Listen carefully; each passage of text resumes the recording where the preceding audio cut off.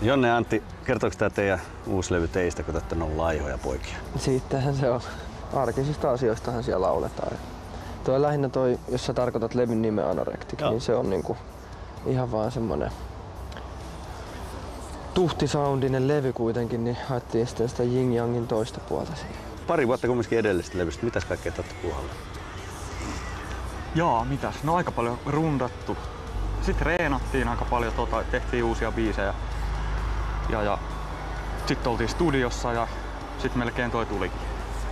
Nyt oli oikeasti poikkeuksellinen kesä tää 2006, kun oli aikaa. Meillä ei ollut niin paljon festareita, niin oli hieno nauttia, että pääsi nauttimaan kesäpäivistäkin vähän.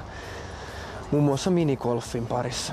No mullehan oli ihan niinku selkeä kesän toi suosikkikohtaus tuolla päästä käymään tuolla maalla mummolassa Nurmeksessa. Siellä kuusi asiaa, mitä piti tehdä.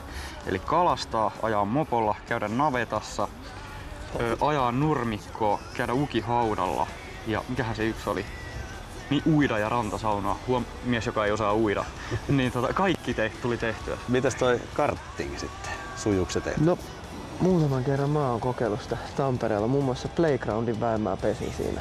Entä Antti? Joo, mähän on tosiaan se karting noviisi. Eli en ole eläissäni vetänyt. Roope Lappalainen on luonut opastaa meitä. Se on hyvä. Saadaan ammattiapua. Saa nähdä mennäänkö niskatuen kanssa kiertueelle niin. ja kepeille. Soittaa pyörätuolista.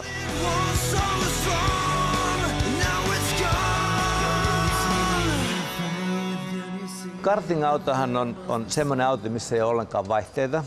Siinä on kolme hallintalaitetta, on kaasu, jarru ja ratti. Penkki täytyy olla sopiva. Se ei saa, siellä ei saa liikkua ollenkaan niin vapaasti, vaan se täytyy niin tukea hyvin. Silloin se on miellyttävää. Ja näissä on erittäin tehokkaat jarrut.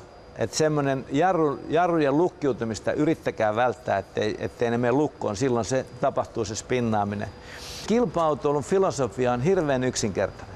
Se on niin, että ei niin lujaa kun tulet sinne kurviin, vaan niin lujaa kun lähdet kurvista. Ja, ja moni tekee sillä tavalla, että tulee kauhalla vauhdilla siihen kurviin ja sitten se tyssää se vauhti siihen, vaan se lähtönopeus. Ja se mitä lujempaa lähdet sieltä kurvista, niin sitä aikaisemmin oot siellä seuraavassa kurvissa.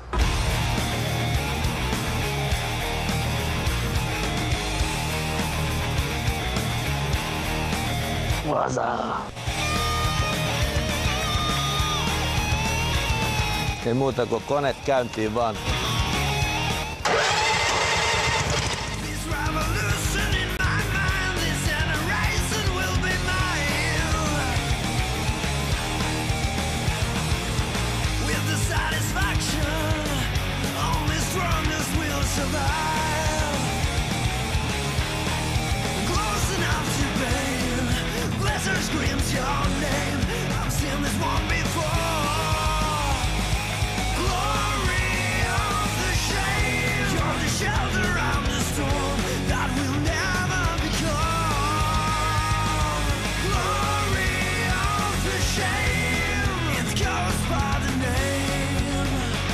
Muistakaa ajolinjat, muistakaa jarrutukset, kypärä päähän. Ja nyt on aikaa jo.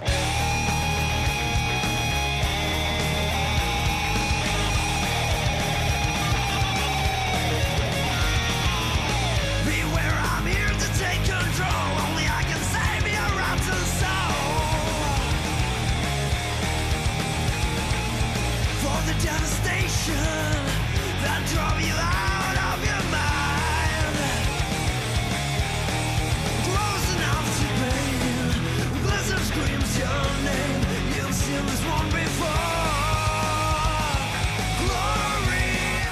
Voitte nousta hetkeksi pois autosta, mutta ei ole kovin paljon aikaa, niin lähdetään sitten jatkaa.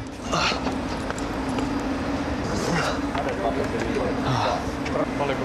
Niin hyvin kuin pystyy. Mustakin tuntuu. Sadasosista puhutaan. Nyt kun te olette niin yllättävän tasaväkisiä, niin tehdään niin, että kahden ensimmäisen kierroksen aikana ei saa ohittaa. Vaan tässä kohtaa, kun kaksi kierrosta tulee, niin sininen lippu liehuu. Sen jälkeen ohitus on vapaa. Close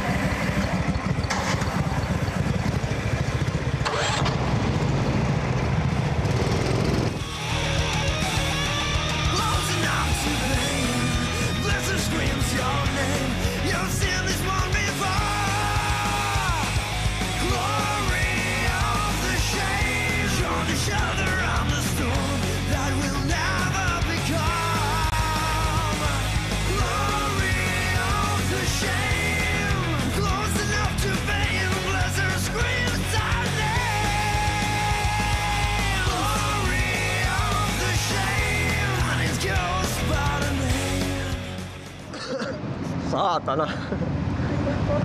Siinä on teidän kaikkien ajat. Ootte kyllä hieno porukka. Harvoin meillä käy näin tasaväkistä väkeä ajamassa. Oli hauska. Hyvä kisa. Kiitoksia vaan. Yritin Jonnea koko ajan painostaa, että sä tekisit virheen, sit itse spinnasin tuolla lopussa. Pääsit karkuun. Oli Yrittää tiukka. liikaa. Oli tosi tiukka. Ja sä pääsit aina karkuun suoraan. Sitten sä olit kuitenkin nuuskii sitä takapuoltasi. Mutta sähän meni tosi hyvin, vaikka se oli sun eka kerta. Niin. Tavoite oli se, niin kuin, että, että viimeiseksi en jää, mutta tavoitteeseen ei päästy. Eli viimeiseksi jäi. Hyvinhän tässä pää- kävi, kaikki pääsi maaliin. Ei kukaan ajanut seinään, ainakaan pahemmin. Hei, kiitos paljon. Hei, kiitos. Mahtavaa. Kiitos. Otetaan uusiksi joskus. Joo. Sitten kun te olette käynyt Japanissa Niin me rundilla käydään- ja me käydään harjoittelemassa. Niin. Hungaroringillä. Joo. Puolen vuoden päästä uudestaan. Mä tuun vielä yllättämään. Nyt on vuoro